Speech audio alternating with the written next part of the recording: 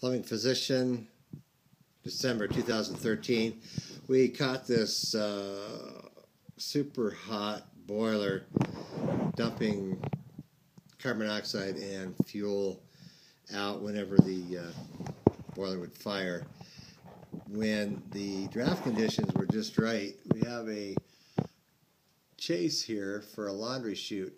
Found that the door up above me was open and it allowed for the warmer air to just rise to the top.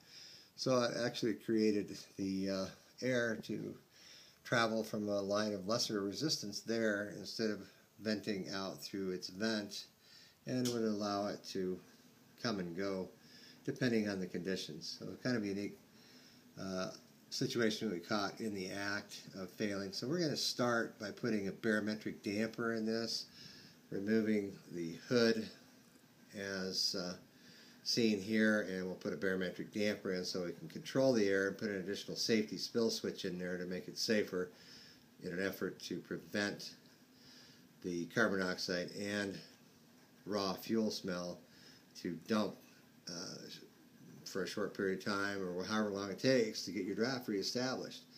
And if this doesn't work, we'll have to add a power venter uh, would probably be the 100% fix. And uh, we only have one 4 inch combustion air in this room, and uh, we may want to add a fan in the can as well to uh, be 100% sure we can take control of the air and not allow any carbon dioxide or gas to uh, escape into the room, triggering the CO alarm, sending out the gas provider and sometimes the fire department is called, and uh, we can help prevent that utilizing barometric dampers.